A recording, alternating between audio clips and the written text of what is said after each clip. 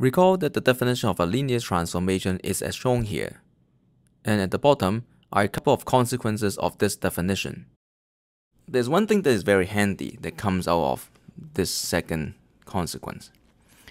If x1 up to xm happen to form a basis for the vector space V, and if you know the images of these basis elements, then you can find out where T maps any element of V to. So let's look at an example.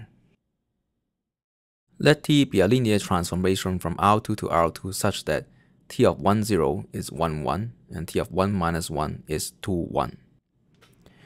The question is, what is T of 0, 2? We aren't given too much information here, and if there's any hope of answering this question, we would hope to be able to write 0, 2 as a linear combination of 1, 0 and 1 minus 1. And that's what we're going to try to do.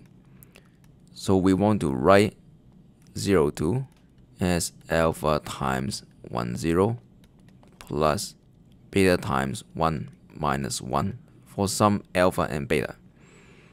This can be rewritten as 0, 2 equals alpha plus beta minus beta. And it's easy to see that we need to set beta to minus 2 and alpha to 2. So we can now write t of 0, 2 as t of 2 times 1, 0 plus minus 2 times 1 minus 1.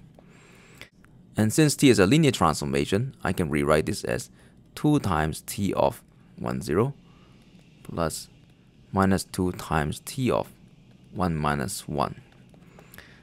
And we know that t of 1, 0 is 1, 1, so this is just 2 times 1, 1. And t of 1 minus 1 is 2, 1, so this is just 2, 1.